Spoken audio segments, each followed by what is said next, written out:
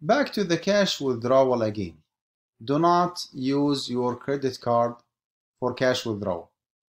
Whether that ATM machine that you use belongs to the same credit card company like Chase ATM machine and Chase credit card, or whether that ATM machine belongs to a different company, any ATM machine will be charging you two different kinds of charges. Number one, service fees, which is something very legitimate as long as it is reasonable and it is justified as service fees. I mean, someone is wiring you money or bringing you money, thus, you know, entitled for a certain compensation.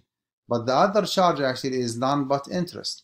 Now, whether that, with that again, that ATM machine belongs to the same credit card company or a different one, any kind of interest because if the cash withdrawal is not is not acceptable. And to my knowledge, none of the ATM machines, none of the credit card companies allow cash withdrawal without charging interest. Having said that, do not use your credit card for cash withdrawal. If you insist in having some cash, then you use your debit card, not your credit card.